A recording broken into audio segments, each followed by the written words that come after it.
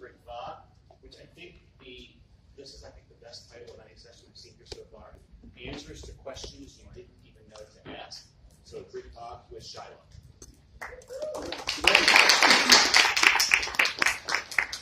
Quick sound check, everybody here okay? Perfect. We're gonna talk about this.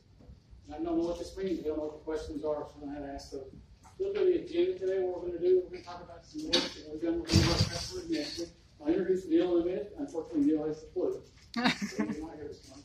Uh, We're gonna talk about the changes, what they've asked to do, what they want from an evolutionary standpoint, or we came back with from a revolutionary standpoint, we're gonna talk about AI today. We need to understand how we use that today to make a difference not tomorrow, not some concept, but things that really go on. What's the difference that it's making? It's the always the so what we always ask what we do. And then what's next? First thing is next is Purina PetCare. Uh, they're one of our most valued customers. We've been doing business with them for over 20 years. Uh, Neil is going to be here today. Neil Norton, he uh, leads the team that picks up the technologies. He helps get these things implemented. Unfortunately, Neil has the flu. He contacted us late Sunday night and I thought he would get on the flight and come down. He talked to him again last time. He's doing fine. He's going to live. It was just the flu. First thing we'll talk about is we consider Nestle Purina. This is a Purina team within the Nestle organization. They've got several different operating companies that do different things. We think they're the uh, by far the best in class. They've got a system, a process that they've implemented around the alerts, things that are going on in business, driven around the four P's. You guys know the four P's. What those things are going on that are worthy to be told about? They want to know what those things are going to be. They've done that with the basic rules, a set of rules that we've helped them implement, and they've done over the last five years. They've done 21 different sets of rules. Uh, they kind of peeled it back over the 18 of those are live because some of them got pretty noisy. One of the problems with the rules is they give you a lot of information that's really noisy and you to either ignore it or not want to take action on it. So let's pull that back. It's big data. We're all in retail. We've been working with big data for a long time. That's not new for us. We started back in the 80s. We're dealing with store level, item level, daily level data, every SKU, everything's going on the pipeline. We've had a big data problem for a long time. That's old news. Everything's done through, been doing, being done through batch processes, so this program is run overnight on the weekends to get the data ready, get it prepared, and deliver out to them in a batch oriented process. It really provides questions to the no answers. And so that means that we can't go build rules, they can't go build rules to look for things when they don't know what the question's gonna be. They can only answer those questions I know to ask. They're doing a great job, they've got eighteen of them. They're world class in what they do. They don't know what they don't know. So they came to us, and here's an example of some of the we ran. It's pretty boring stuff. It's basically a bunch data, spreadsheet driven. Uh, we know what those things look like. They came and asked us for some changes. So we need to ask them the rules of this. Can you help us implement that? And of course, we can go do that. It's rules-based stuff. It's pretty easy. Then they asked for some additional visualizations. So instead of static, you know, numbers-based things, they wanted to see some pictures. They want charts and visuals and things like that of the data to make it more impactful. We really asked for something that was evolutionary. I want to get a little bit better. I want to do a little bit more of what I'm doing. I'm already best in class. I want to be just a little bit better. So that's what they asked us for was an evolution. We came back and we've been working on technology for, for quite a while. We went back in, in 2015. We met with all of our customers, asking, you know, what do you really need? What would you need that would put us out of business? That's one of our jobs to put ourselves out of business. What we heard from our customers and this is one of our best customers. First thing is make it easy. It's got to be easy. That makes a lot of sense. The easiest thing about easy is give you something you already know how to do. Don't make me learn something new. The second one was really the tougher one, which was tell me what I don't already know. Tell me, answer the questions for me that I don't even know to ask. And so we began this journey five years ago. How do we go do that when we don't even know what to go look for? So we came back with some artificial intelligence and things that we think are revolutionary and not evolutionary. First part of that is our learning package. This is the piece that we're using with them. It goes out and runs the data science, really replacing the rules with AI-driven data science. Most of you in the room have data science in your organization. Even if you don't call yourself a data scientist, I would guess that most of you are in the room are data scientists. I know for one for sure Dan is. You guys have been doing data science for a long time. You kind of rely on the tools that you have for that. That's, that's not new news. AI applied to that says, I need to go have this technology, do that kind of work, and do it for me across all the opportunities that might exist in the data. Not just focus on the questions that I already knew to ask. We added a scoring engine. I mentioned earlier that there was, they created 21 basic rules. They got three of them turned off because they were noisy. The challenge with technology, finding out things that are valuable to know, is it finds out even more data than you already had before. How do I do that? Make that be something that's not overwhelming to you. Now I've got so much to look at, I don't even know where to start. So we again use some AI and some machine learning in this case to do some algorithms that tell us what the score, what's the value of knowing this. Does it really matter or not? The next thing we have to do is, and so think about this scenario. Tell me what I don't already know. The key is tell me. I don't know it's going to be in the first place. How do I know how to go visualize that and tell you that in a way that makes sense to you? And by the way, you're all different in the way you want to consume things. Some of you want words. Some of you want pictures. Some of you just want the numbers. At least for all of you, in answering answer your questions you need to know to ask in different ways that you know to be able to visualize and see. Again, we use some AI stuff for that. These are things where AI is going to work today make a big difference, a 10x difference, not a 10% lift, but a 10 times lift in what's going on in the industry. And uh, that way, the last slide. Here you go. Got ahead of myself just a bit. First thing is we've got to get raw data and transform that into intelligent data. We all have access to huge amounts of raw data. We don't have a problem with our raw data. That's not a problem to be solved. We've got technology that can house it, and do that in a quick, fast way. That's not the problem. I need that data to be smart. I need the insights in it to bubble up to me so I know what to go focus on. So we really, for instance, in this scenario, we had raw data, we items sold by week. We make that data smarter by adding trends, by adding predictive things to that data. So now we not only know that, we know what the trends are, we know what's going to be in the future.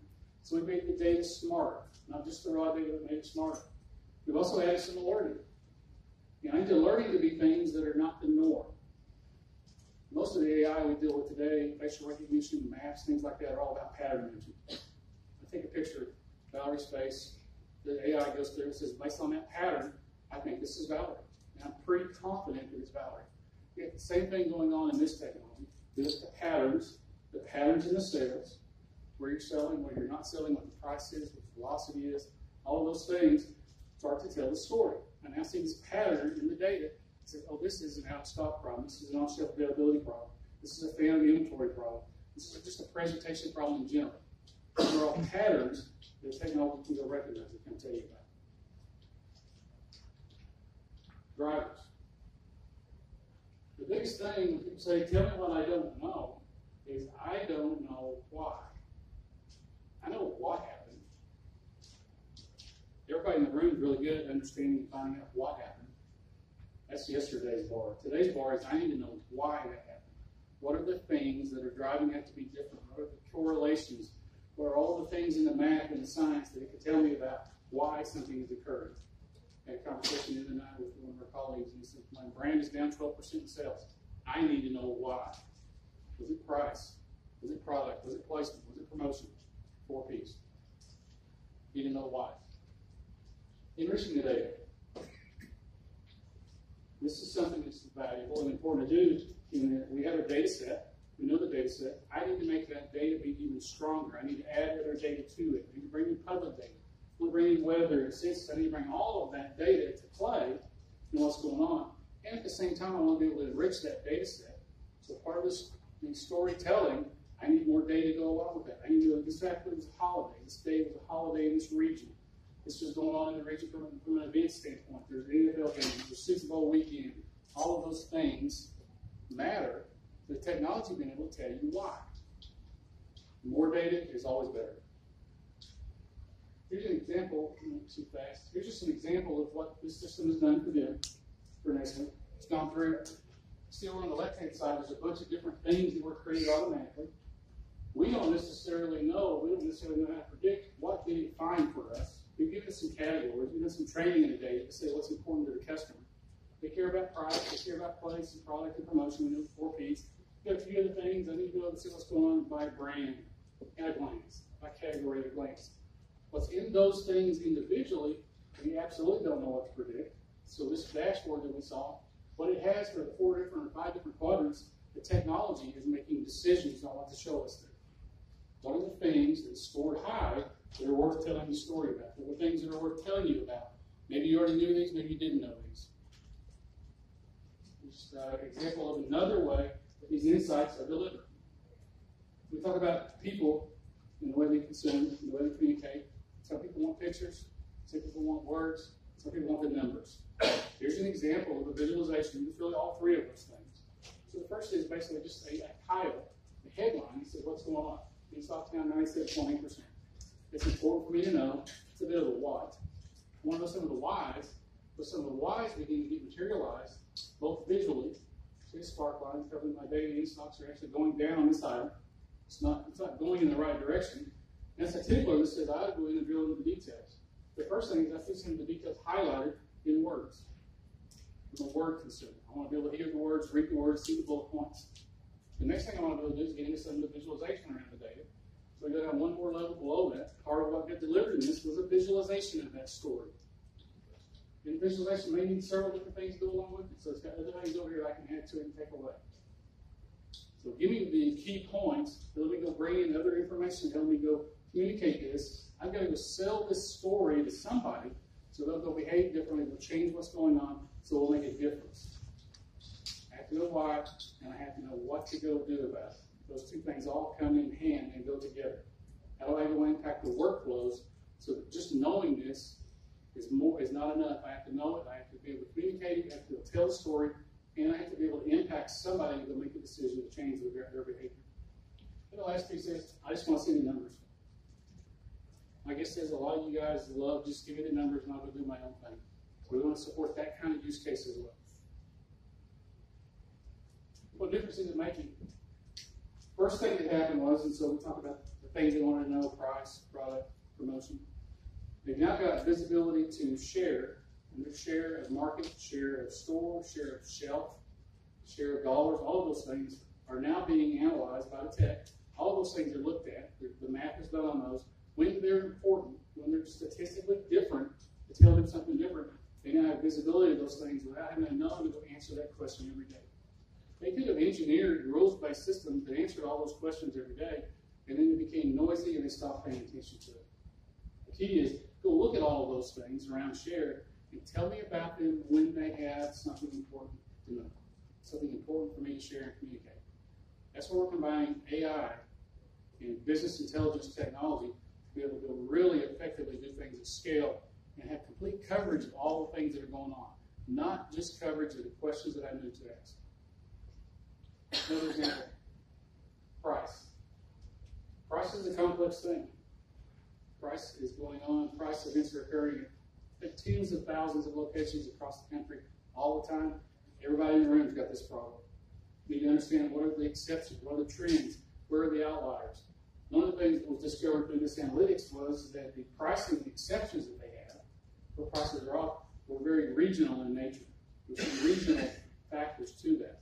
That helps them from a systemic standpoint go address those issues versus saying, I've got 500 of 5,000 stores have a pricing issue.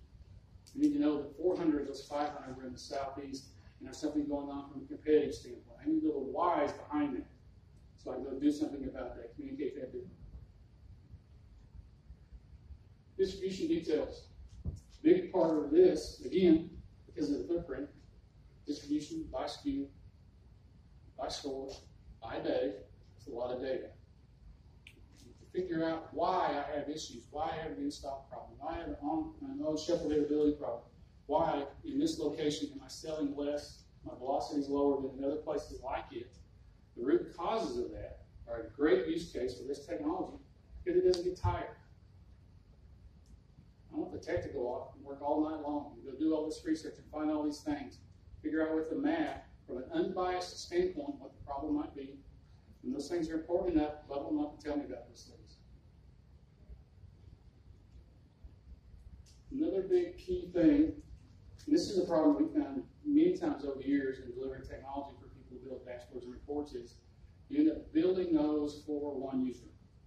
So we go build that reports for somebody, somebody owns that report, they're the owner, they're the driver.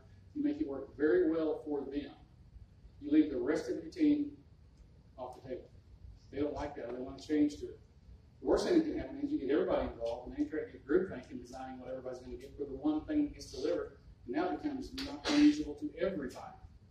Everybody has to compromise those things. One of the keys to the visualization that we do, and the artificial intelligence that we did with that, is that one, we understand each user. We can tailor it to each user. Matthew likes to see maps. Matthew wants to see a map as his first visual. James wants to see the numbers. He's a numbers guy. See the numbers first. You can tailor it to their use patterns, how they think, how they want to work, to make that work for everybody, and not just for one person to define your visuals, but really define around the questions we already knew how to ask. Our goal, one of the ways that we measure success in any of these enterprises, any of these kind of projects, is how much of the time do you now have your team with their head up, talking to the customer, talking to other people on your team, convincing people to change their behaviors, versus their head down, buried in a spreadsheet, trying to go find that insight that's there. When our teams have their heads down, their work is very biased. They don't have time to look at every possible opportunity. We want things to be unbiased as much as we can. So what's next? Nestle, we're proud of this, is establishing themselves as a brand new best in class, but it's a new class. The bar is being risen, as being raised. There now, if you're not doing these things, you're being, being beat by your competition. Yesterday's bar was, I need world class analytics to tell me what happened. Today's bar is, tell me why, and that why is across everything that I gotta do. That is the new bar. Be exciting to see where the bar is next year. And I took the hand, so there's the bar. Another big key to making an- analytics pay for itself, have a good return on investment, is get it integrated into the workflows. It's not a separate thing you should go do. You don't start the morning out by saying, I'm gonna go look at my dashboard. Then I'm gonna go do something about those, go back to those later, back and forth, back and forth. You gotta continue to work on this technology being embedded into the workflows, whatever the workflows might be. I need this to work in the boardroom. I need to behave differently when it's in the boardroom, but I need the boardroom to have analytics as part of their decision-making process. I need this in the back room the warehouse. I need the decisions that they're making to be driven by analytics, be aided, be augmented by the analytics, so they're doing the right thing and have the tools to help them do the right thing. Boardroom to back room. Everybody in that flow needs this embedded into their workflow. That's how we're gonna make a difference. That's where you're gonna realize return on investment versus buying tools that sit on the shelf and generate reports that get emailed out. Get it into your workflows. Then you'll truly see a significant change in your return on your investment. This technology is constantly learning, constantly getting better, it's collecting more data. We talked a minute ago about keeping track of the fact that Matthew likes maps. Matthew may change his behavior soon. He may like something different later on.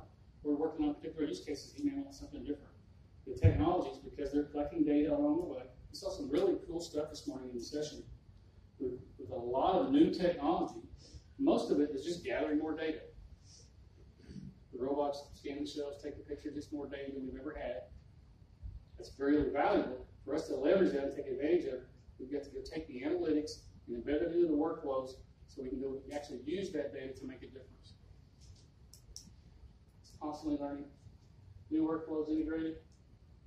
The easiest place to start with workflows integrated with analytics is in your team that does analytics. That's just a no-brainer.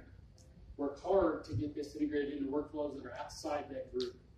We'll build in workflows for your leadership teams. So part of the workflow automatically includes analytics. Brings things to them they didn't know to ask.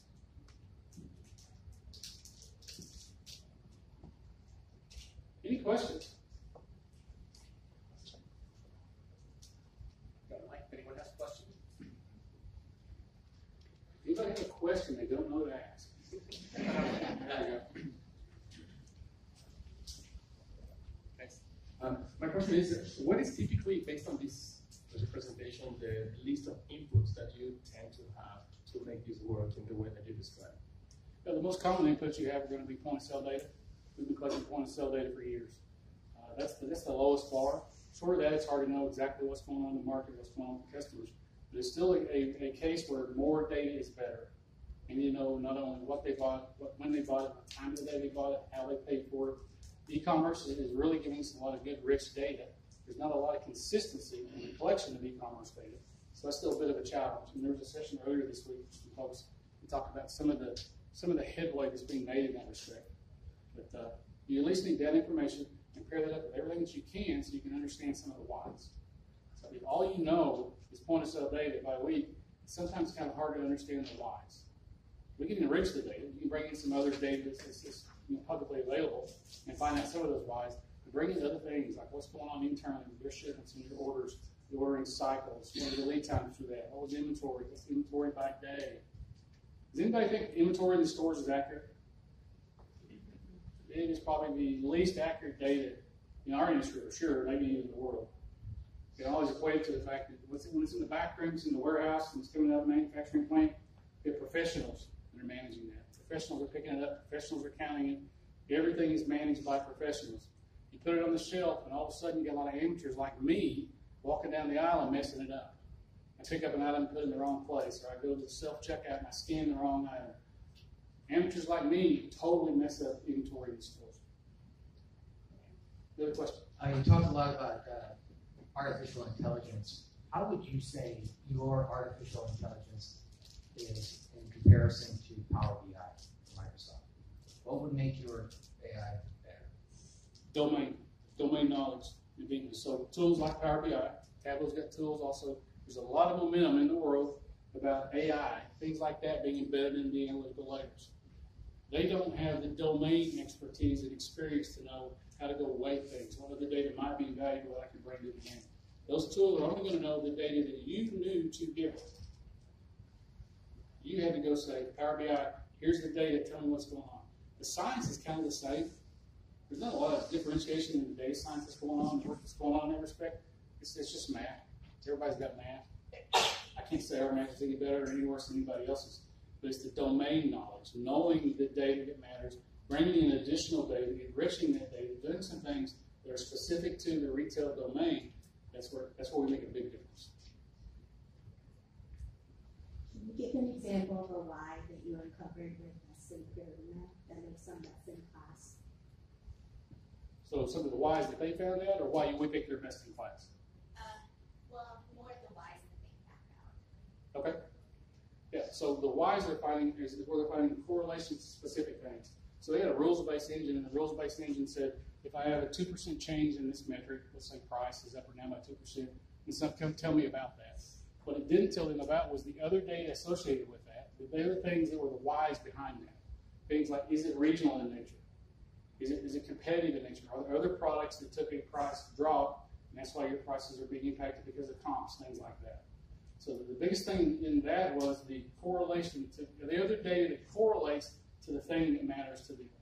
I have pressure on price in the southeast. Why? What else is going on in the southeast to make that happen?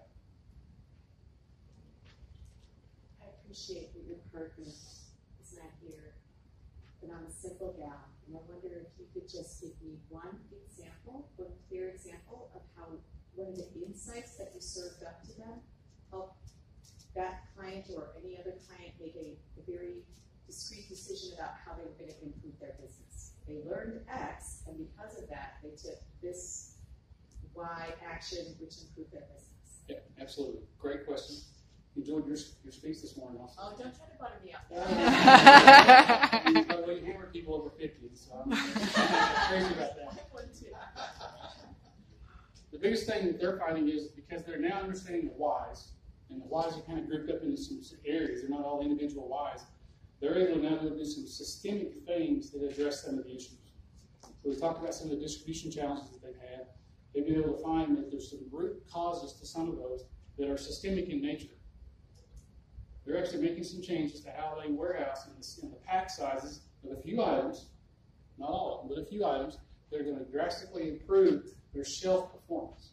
So they're able to find through the fact that the, the, technology said you've got a presentation issue, got related and got categorized up into the root causes for those, or actually distribution flows to those stores.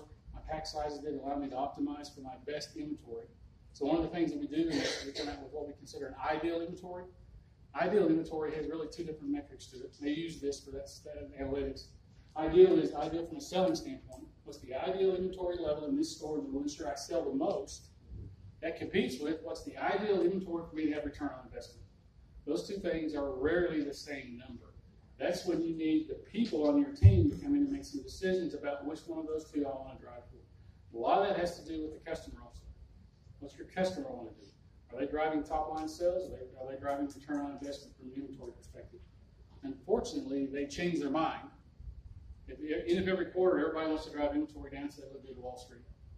Every other every other month of the year, we want to go drive inventory up because I want my out of stocks to be as low as I can. I want to increase my sales. So that's one example where they were able to use that to systemically identify some packaging changes. Thank you. How about shopper insights?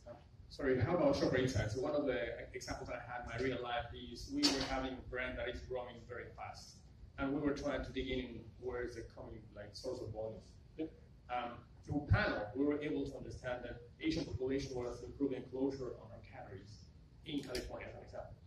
Can you overlay panel data to understand more about the shopper insights and the why rather than more the, the 4P type of execution? Yep, yeah, and that's a great example of where more data is better. So the more you can get to those technologies, those engines, the better it is. It's a challenge though, because that data is sometimes difficult to harmonize with your other data that you have. I don't have UPC level panel data. I've got panel data that's much different kinds of aggregates and information. Using some of the back-end technology, do some harmonization of that, and be able to bring that data to play with the analytics. We give the analytics basically all the engine, all the data. The data science says, here's all the data. Go figure out is there a correlation. So finding, in fact, there was a correlation to that data for that consumer in California because it was something that was really pretty valuable to know. You had somebody that knew to go ask that question. So you were able to go find it because you knew to go ask it. You thought that might be an opportunity.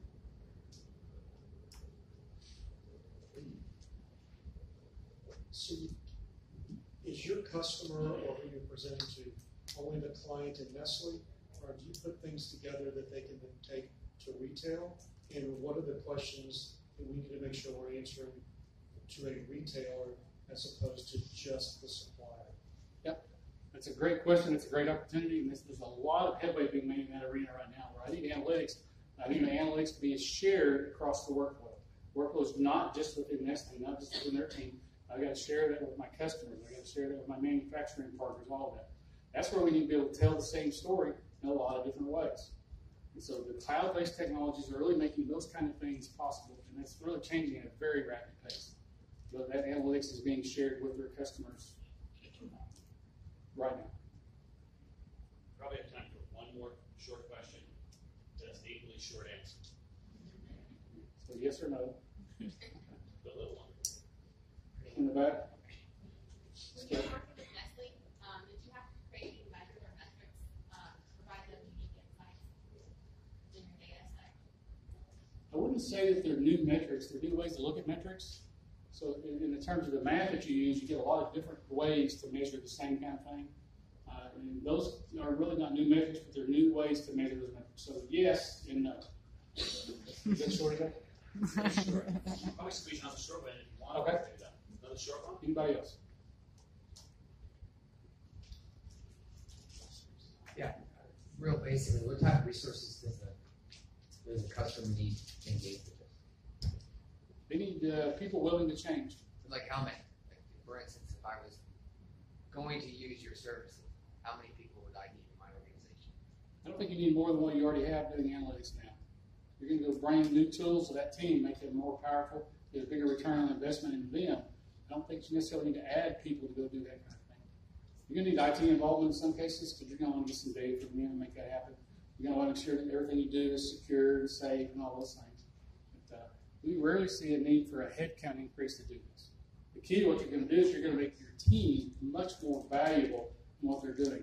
Their head's going to be up, talking to people, selling ideas, getting changes to happen, versus their head down, buried, trying to find the things that they think they know to go ask. All right. Thank you very much. Thanks, everyone. Thank you.